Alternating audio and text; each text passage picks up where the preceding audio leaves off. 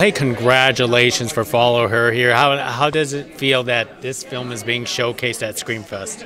Uh, I'm thrilled uh, for Follow Her to be at the Chinese Theater. I mean, this is such an iconic place, and for our film to be here and showcased on a Thursday evening, I mean, we're thrilled. We're thrilled and honored to be here. Now, how are you brought on board to this project? What actually drew you in?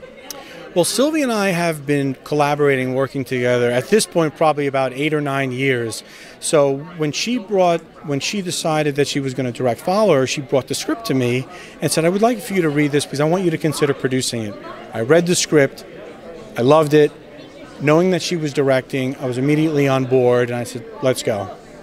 So you worked with Sylvia before, which she she came from the documentary world. Did you come from the documentary world too? No, I I have worked in commercials and in corporate films, but I also have a relationship with Sylvia because we also produce a PBS show, Samantha Brown's Places to Love Together. So she directs the show, she's the series producer, but I also produce the show and uh, sometimes direct the show. So we've traveled the world together and been in the trenches together, but we've worked together on some other films before. But uh, so my background is a little varied from commercial to TV to film. So well, kind of a jack of all trades. so, how did you want to approach a film like Follow Her here? Because it, it is it is a genre of horror as it's being showcased here at sure. Screamfest. Sure.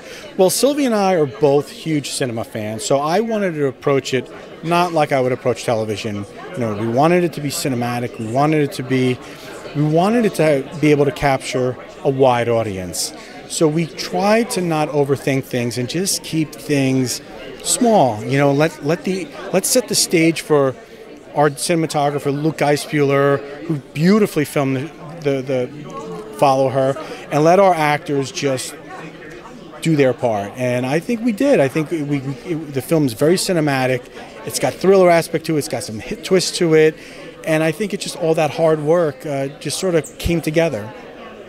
So a small cast and a small crew actually helped in an indie horror like this. Absolutely, because what we did is when we normally, uh, when we first started filming, it was in one location. So for the so for the first 13 days, we were in one location. and It kind of gave us the advantage of not being spread out, moving locations, not having a lot of actors. It was mostly the interaction between the Jess and Tom character in the in the barn location.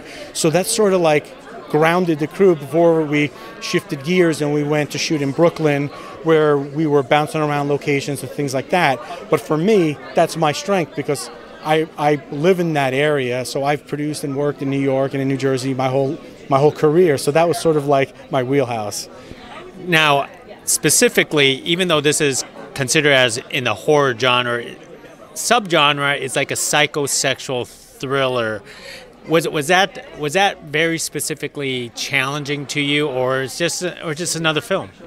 No, it's not just another film. The one thing that we sort of embraced was that we didn't want to have the film be a horror like we weren't going towards the the, the, the effects and the slasher type, that sort of thing. We were sort of going more mental, more emotional, more psychological, where it's a play between two characters where we're not sure who the antagonists and who the protagonists are.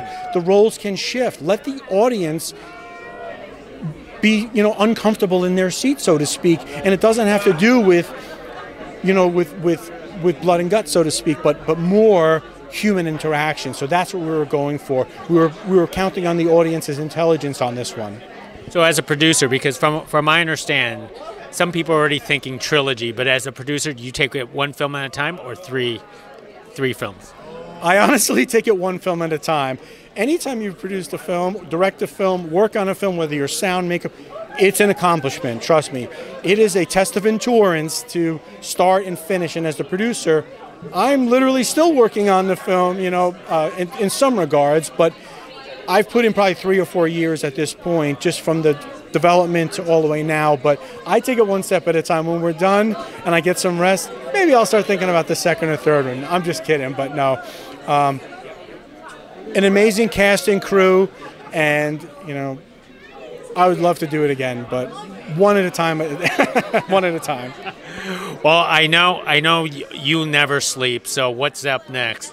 What's up next? Um, well, Well, I'm, I'm also a director as well, so I'm working. I'm developing some projects. Uh, I'm really developing not a, not a horror film, but something that deals with mental well-being, and I, it's almost like a thriller type project. So I'm, I'm developing that. I'm excited that um, our Emmy Award-winning show, Samantha Brown Places to Love, on PBS is going to be premiering in January for season six. So I'm excited about that, and keep on pushing forward and pro- promoting the film at the festivals. So uh, we're looking forward to having uh, follow her at the at uh, the Austin Film Festival coming up as well. So we're excited about that. Well, we're excited for you, and I can't wait to check it out in a few minutes. Thank you very much. I appreciate. it. Thank you for your time. Thank, you. you.